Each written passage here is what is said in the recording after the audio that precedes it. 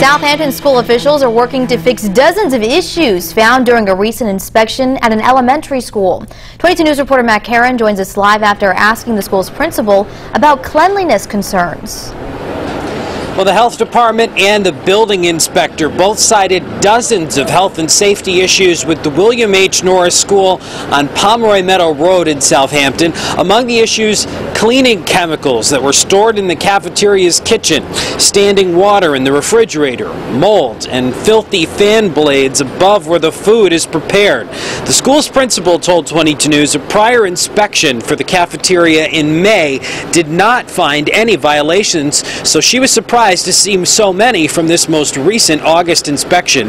Dozens of other violations include exits being blocked and lighting not working properly. The principal said they've been working hard to all the problems everything that could be done right away has been done and um, the other situations where we had to maybe get quotes to get the sidewalks fixed and things like that we've already contracted out um, for quotes um, for those things and they will be fixed soon.